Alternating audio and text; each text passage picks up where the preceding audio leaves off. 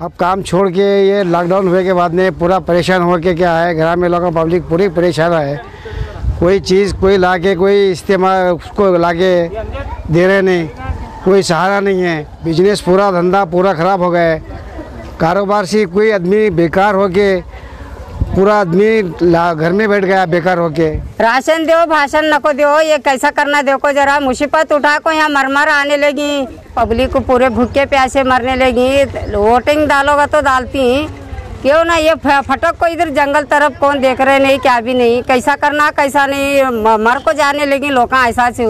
घर में खाने खाने को खाना नहीं भूख से मर रहे हैं और तुम लोग मारो मत काम करने दो हमारे को। ऐसा मत करो साहब। खाने से भूखे मर रहे हैं हम लोग काम भी तुम लोग करने दे रहे नहीं ऐसा मत मारो साहब, हम लोग को काम करने दो। नहीं तो खाना तो लेकर दो खाने के वास्ते। तुम काम भी करने दे रहे नहीं और जाने भी दे रहे नहीं, बाहर गए तो मार रहे हैं। बहुत बुरी तरह मार रहे हैं साहब, ऐसा मारो मत। हमारा खाना नहीं मिल रहा, साहब क्या खाना हमें? क्या पी रहा हमारे बच्चे लोग बहुत परेशान में है। हम हमारे को कुछ नहीं मिल रहा, हमें क्या करना है? यहाँ जंगल में है साहब। ऐसा हुआ तो कैसा? क्या नहीं, कहाँ जाना हमें कहाँ जाको? क्या हमें रहना क्या मरना साहब? ऐसा कैसा करना साहब? क्या नहीं? देखो, हमना तो कुछ नहीं है, मेरे घर में मेरे बच्चे बहुत है। मेरे सात बेटियाँ हैं, मैं बहुत दूर दूर जो साहब गुजरात को दूँ मेरे बच्चे नहीं मरी तो मेरी सूरत नहीं देख सकते। मैं क्या खाना हमें क्या रहना, हमारे बच्चे ने कहाँ जाना, हमें कहाँ देखना साहब? और हमें कैसा करना, क्या नहीं? देखो साहब, हमारे को तो पुलिस और रात दिन मिल के फिरने को नहीं दे रहे, घर के बाहर जाने आने देने दे रहे नहीं। बाल बच्चे वाले, हम कर को, शाम तक कर को खाने वाले। और कहते सो भूखे भूखे मर रहे घर में से बाहर छोड़ रहे नहीं, कैसा करना है, क्या खाना है, क्या नहीं, बाल बच्चे, भूखे भूखे मर रहे सब जने, गरीब लोग हम, शाम तक कर को खाए तो पेट भरता है। नहीं, बोले तो भूखे रहना पड़ रहा है हम। भूख से मरने लगे, बाहर गए तो बोले तो क्या मेहनत करने गए तो लाठी लेको मैं पीठ लग रहे मारने। क्या करना हम, ऐसा हुआ तो कैसा करना? भूखे भूखे मर रहे बाल बच्चे छोटे छोटे। रमज़ान का महीना आया, अब खाना खाना बोले तो क्या है? जाने को दे रहे नहीं बाहर। खाना खाने को बोले तो भूखे भूखे मरने लगे। क्या भी नहीं है घर में को खाने को लिए।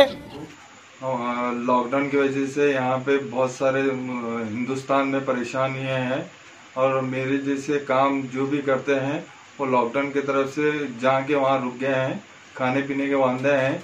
गवर्नमेंट से कुछ सपोर्ट भी नहीं मिल रहा है और जहाँ काम करने से खाने पीने के भी जो भी रहते हैं लोग बहुत परेशान हैं।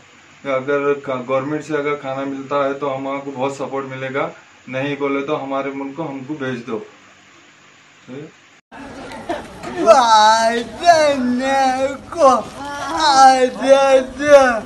है? इस वक्त बहुत लॉकडाउन की हालत बहुत ख़राब है कई गरीब ऐसे हैं कि जिसको खाना पीना कुछ नहीं मिल रहा बहुत परेशान है। बिज़नेस नहीं बोली हमको राशन होना चाहिए, भाषण नहीं। बहुत सारे ऐसे गरीब लोग हैं कि उनके पास खाने का कुछ पैसा नहीं है, कुछ नहीं है। लेकिन अपनी मजबूरी को छुपाने के लिए वो घर में भूखे हैं। बहुत सारी तकलीफें उठा रहे हैं। कुछ घरों में ऐसे हैं कि बेवा हैं, जिनके माँ, बाप भी नहीं है। कोई जो है ना, माँ है तो उनके पास कोई लंगड़े, लुंगड़े हैं। उनके कोई ज़रिया नहीं है, ना उनके भाई है, ना कोई नहीं है।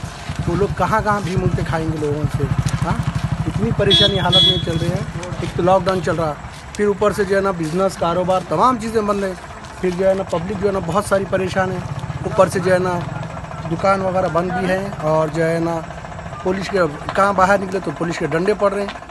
आज लेबर डे के मौके पर एपीजे अब्दुल कलाम एनजीओ की जानिब से एक छोटा सा मैसेज ये देना चाहती हूँ, जो लॉकडाउन में परेशान माइग्रेंट्स वर्कर है और मजदूर है और कई ऐसे लेबर्स है जो परेशानियों से गुजर रहे हैं तो मैं उनकी आवाज़ एडमिनिस्ट्रेशन तक पहुंचाना चाहती हूँ। आप तमाम से गुजारिश है, इन तमाम मजदूरों की लेबर्स की आवाज़ को एडमिनिस्ट्रेशन तक पहुँचाने में हमारी मदद करें और इसी वीडियो को शेयर करें।